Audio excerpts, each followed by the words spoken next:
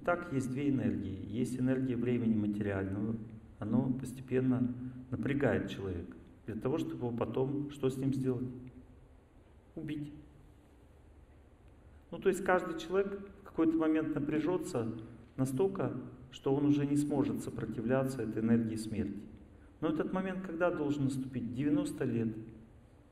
Хорошо поборолся, понимаете? Все уже давно померли. Ну, друзья имеется в виду.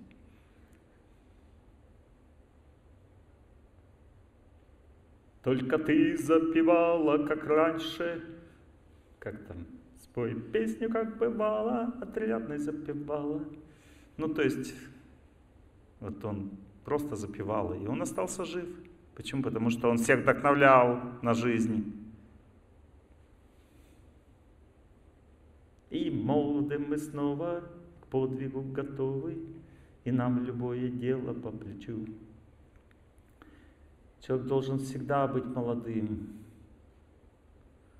Старость означает потерянность, означает, что я уже я не могу выйти замуж, значит не можешь.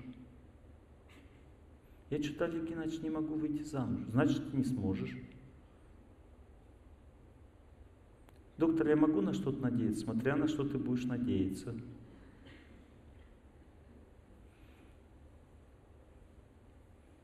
Итак, что такое энергия времени? Есть два типа энергии времени. Одна, один тип энергии времени действует постепенно, не торопясь.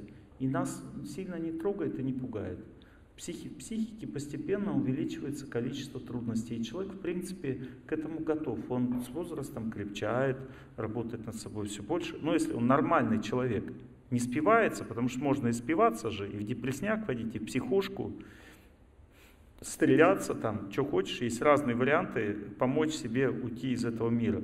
Но если нормальный человек, он ну, как бы постепенно становится крепче. Но у времени есть два типа энергии – материального времени есть еще циклическое старение. Циклическое означает, неожиданно здоровье стало тяжело, тяжелым. Неожиданно, ты вроде бы тебе еще там 25 лет, раз, и тебя нагнуло.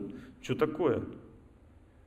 И никто, не, врачи не могут дать ответ. Просто так действует циклическое время. Оно действует временно. Это циклическое время. Означает, что сегодня нагнуло, завтра разогнуло. Но если ты поддался, согласился с этим, значит ты закрепляешься на этом состоянии. Все. Если ты не встрепенулся, если ты не стал в этот момент сильнее, но сильнее надо быть заранее. У человека есть такое понятие запас прочности, запас здоровья.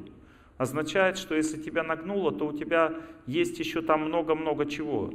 И запас здоровья делается с помощью тренировки. Человек должен ну, укреплять себя, Длительное непрерывное движение дает запас чего? Волевой силы. Волевая сила это копится в сосудах, копится в мышцах, копится в костях. И если, допустим, у тебя раз какое-то время тебя замкнуло сильно, а, напрягло, то есть волевая сила преодолевает напряжение. Вот смотрите, циклическое время побеждается длительной аскезой. Вот, допустим, если вы, допустим, бегаете или нет?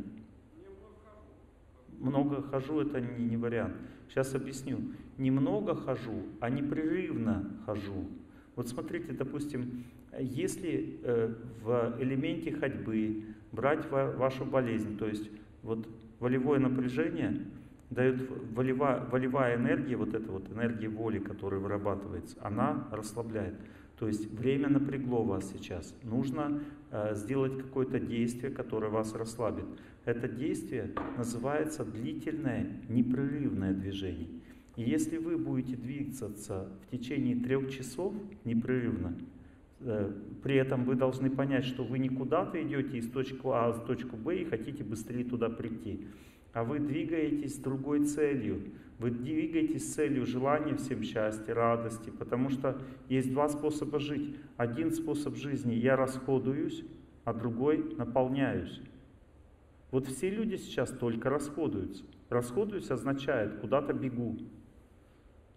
А когда я просто на свежем воздухе слушаю лекции, желаю всем счастья и непрерывно иду три часа, то через три часа да, а вам надо желать всем счастья в это время, переключиться. Потому что время вам говорит, некогда тебе переключаться, умирай, у тебя много дел. А надо наоборот, надо, если ветра веселого хлебнуть, понимаете, то есть нужно переключиться на природу, нужно, вы верите во что? В успех. Это вера в страсти. Когда человек верит в успех, он теряет себя, он теряет силы.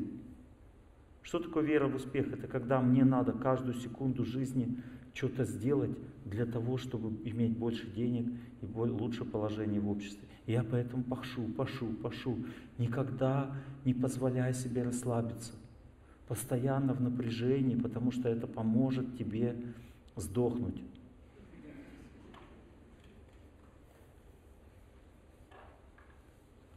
Человек должен учиться переключаться. Переключаться означает заряжаться, наполняться. Это аскеза, потому что нас время заставляет что делать? Быть занятыми. Оно заставляет, давай, думай о своей работе, иначе ты проиграешь. Оно так э, говорит время. А ты понимаешь, что ты проиграешь, если ты станешь обесточенным. Мы как батарейки, нам нужен заряд постоянно.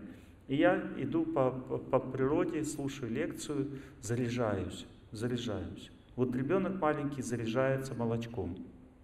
Он и потом он зарядился и такой отваливается и радуется дальше. Почему? Потому что он зарядился. Понимаете, но если человек истощенный, он не может радоваться. И так вы длительно двигаетесь, у вас вырабатывается энергия воли. Эта энергия воли для чего нужна? Для того, чтобы решать быстро дела, для концентрации внимания, для того, чтобы прорваться сквозь трудности какие-то в жизни. Эта энергия воли вырабатывается с помощью длительного непрерывного движения. И у нас есть разные психические слои, которые также отвечают и за тело. Вот, э, допустим, тот психический слой, который отвечает за мышцы, которые у вас сейчас напряжены, и сосуды, это третий по, по счету психический слой. Каждый психический слой прочищается через 44 минуты ходьбы. То есть надо умножить на 3, 44, э, получается 2 с лишним часа. Но нужен запас еще, потому что вам надо выйти из этого третьего слоя, надо чуть-чуть подальше. Поэтому 3 часа я вам сказал. Вот. И как вы идете? Радостно, желаю всем счастья, забывайте от всех проблем, всем улыбаетесь. Ни о ком плохо не думайте. Если кто-то курит, проходит мимо, вы не обращайте внимания, прощаете ему. То есть вы радостно идете.